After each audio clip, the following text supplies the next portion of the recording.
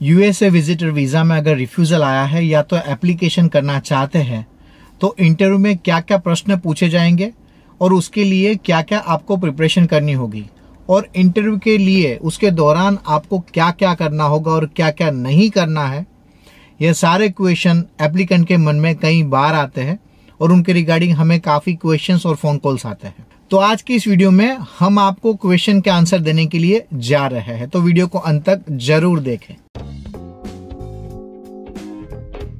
नमस्कार, जय हिंद, वंदे मातरम। मैं कल्पेश सलाविया फिर से एक बार आपका स्वागत करता हूँ। हम इस चैनल पर यूएसए वीज़ा के लिए नई नई इन्फॉर्मेशन की वीडियोस अपलोड करते हैं, ताकि इन्फॉर्मेशन आप तक पहुँच सके।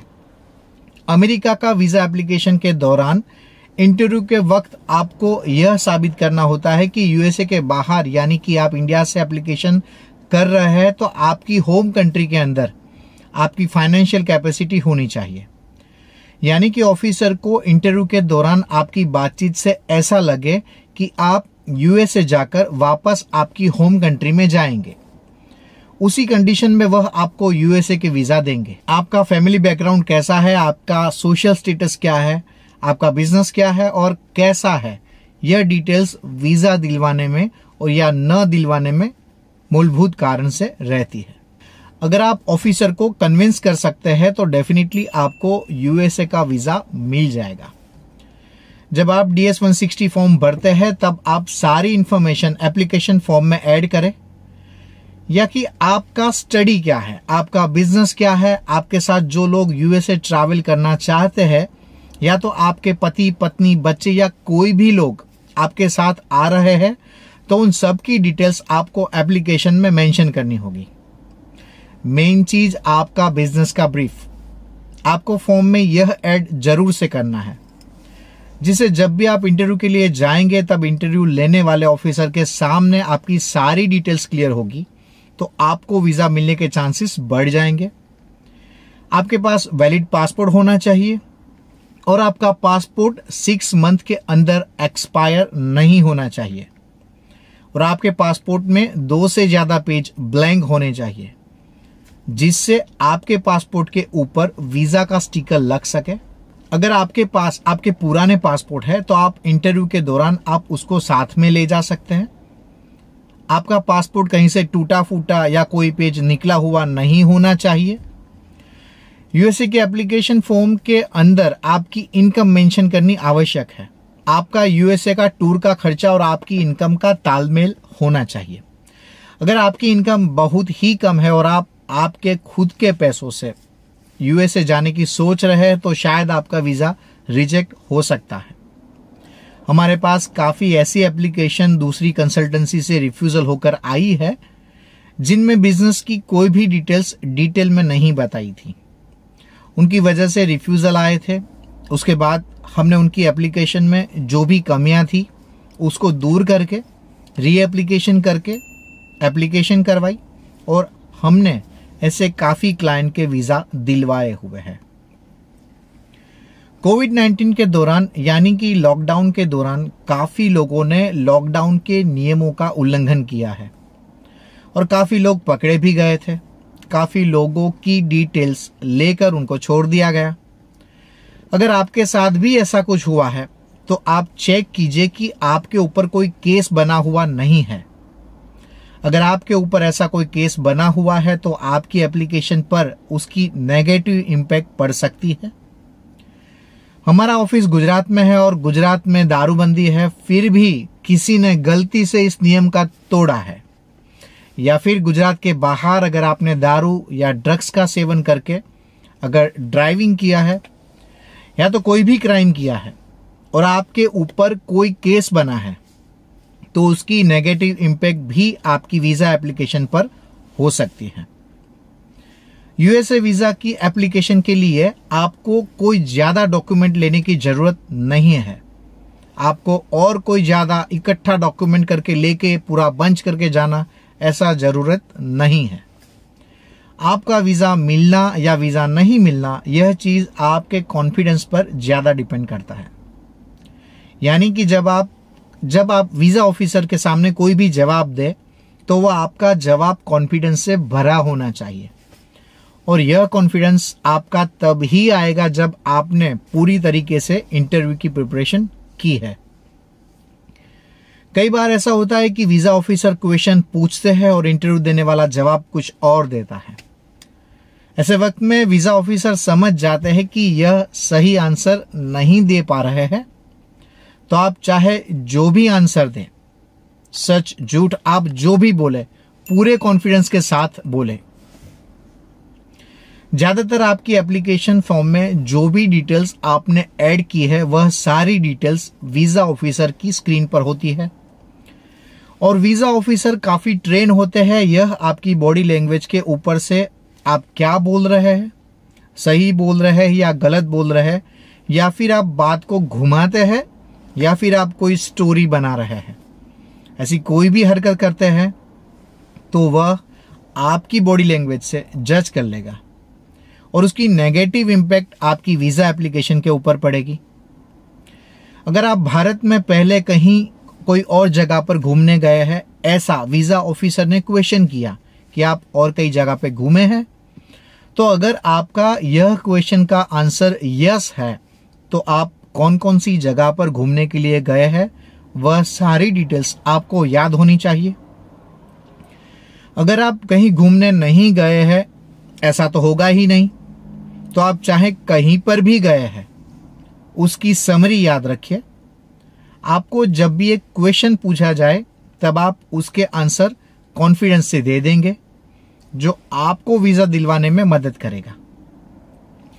अगर आप कहीं पर नहीं गए हैं, उस जगह का नाम दे दिया आपने और उनके अगर डिटेल में कुछ इंक्वायरी करेंगे, पूछेंगे तो आप उनका आंसर नहीं दे पाएँगे। तो वीज़ा ऑफिसर को जो भी है, वही आंसर दे। उनमें से कुछ ना छुपाए तो आपके यूएसए के वीज़ा मिलने के चांसेस बढ़ जाएँगे। अमेरिका में आप कौन कौन सी जगह पर घूमने के लिए जाने वाले हो, यह सारी इंफॉर्मेशन आपके पास होनी चाहिए। Day to day itinerary hotel के नाम कौन सी जगह पर घूमने के लिए जा रहे हो? यह सारी जगह के नाम के पता होने चाहिए। अगर हो सके तो उस जगह की स्पेशलिटी क्या है? वहाँ की खासियत क्या है? वहाँ पर क्या क्या देखने लायक है? क्या क्या खाने लायक चीज़ है? उन सारी जगह के नाम, उनकी सारी डिटेल्स अगर आपको याद है तो आप, आपको पूछे गए क्वेश्चन के आंसर सटीक तरीके से और जल्दी से दे पाएँगे। काफ़ी लोग टूर बुक करवा लेते हैं, जिनकी डिटेल्स उनके साथ जाने वाले। या तो उनकी वाइफ, या बच्चे, या फ्रेंड, जो भी है, उसको नहीं होती है। तो आपने जो भी टूर बुक किया है, उनकी सारी डिटेल्स आपके साथ जो भी लोग जाने वाले हैं, उन सब के साथ शेयर करें। यानी कि आपका टूर का कितना खर्चा हुआ है, आपने कितने दिन के लिए टूर के लिए जाने वाले हो अमेरिका में आप कौन कौन सी जगह पर रहने वाले हो और वहाँ आपको खाना कैसा दिया जाएगा? आपको कौन सी फ़्लाइट में जाना है? कौन सी फ़्लाइट में आप वापस आने वाले हो? आपका एकोमोडेशन कैसा होगा? यह सारी डिटेल्स आपके पास होनी चाहिए। और आपके साथ जो भी लोग ट्रैवल कर रहे हैं, उन सबको भी यह पता होना चाहिए। यूएसए के विजिटर वीज़ा के ऊपर आप यूएसए में जॉब नहीं कर सकते हैं। यूएसए के विजिटर वीज़ा के ऊपर आप यूएसए में जॉब नहीं कर सकते हैं। बिज़नेस या जॉब के लिए वीज़ा कैटेगरी अलग रहती है। पर अगर आप गलती से भी वीज़ा ऑफिसर ने आपको ये प्रश्न पूछा और आपने बताया कि आप अमेरिका जाकर जॉब करना चाहते हैं तो आपको वीज़ा नहीं मिलेगा। काफ़ी लोग ऐसे क्वेश्चन पूछते हैं कि क्या अमेरिका जाने के लिए उससे पहले किसी दूसरे देश में जाना ज़रूरी है? ये एक अच्छा क्वेश्चन है। तो ऐसी कोई ज़रूरत नहीं है। काफ़ी ऐसी एप्लीकेशन हमने प्रोसेस की है कि जिन्होंने फ्रेश पासपोर्ट इश्यू करवाया हो और उसी पासपोर्ट पर उनको यूएसए का वीज़ा मिला है। और काफ़ी ऐसे एप्लीकेशन भी है कि जो कई कंट्री में घूमे हैं, फिर भी यूएसए ने विजिटर वीज़ा रिजेक्ट कर दिया है। तो यह ज़रूरी नहीं है कि यूएसए के वीज़ा लेने से पहले आपको दूसरी कंट्री में टूर करनी चाहिए। या अगर आपने और कोई दूसरी कंट्री में ट्रैवल किया है तो आपको इमिग्रेशन का भी एक एक्सपीरियंस हुआ होगा, जो आपके बॉडी लैंग्वेज में, आपके कॉन्फिडेंस में बढ़ोतरी करेगा। और यही कॉन्फिडेंस आपको वीज़ा दिलवा सकता है।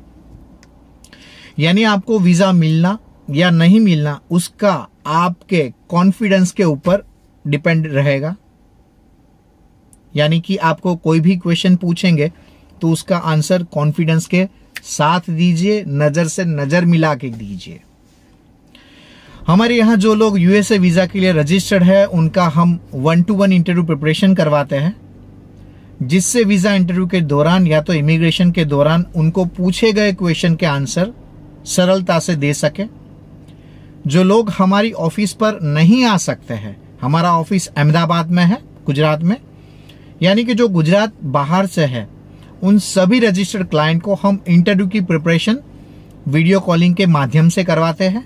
अगर आपकी एप्लीकेशन हमारी कंपनी के द्वारा करवाना चाहते हैं तो आपको उसकी डिटेल डिस्क्रिप्शन में दी गई हुई है, जिसमें वीडियो की एक लिंक है कि अहमदाबाद या गुजरात के बाहर रहते हैं आप, और आप आपकी एप्लीकेशन हमारी कंपनी के द्वारा करवाना चाहते हैं तो प्लीज़ आप हमें कमेंट करने से पहले डिस्क्रिप्शन में दिए गए वीडियो को पहले पूरा देखें उसके बाद आप हमारे साथ कांटेक्ट कर सकते हैं। हमारा प्रयास ये रहेगा कि आपका पूरा क्वेश्चन उस वीडियो में आपको आंसर मिल जाएँगे। उसके बाद हम आपके केस की बात कर सकते हैं। अगर आपके नज़दीक में कोई भी पर्सन आपका मित्र, दोस्त, रिश्तेदार यूएसए जाने के लिए प्रिपरेशन कर रहा है तो इस वीडियो को उस तक ज़रूर से पहुँचाए। उसे व्हाट्सअप कीजिए। आपकी छोटी सी मदद से उसका अमेरिका जाने का सपना पूरा हो सकता है।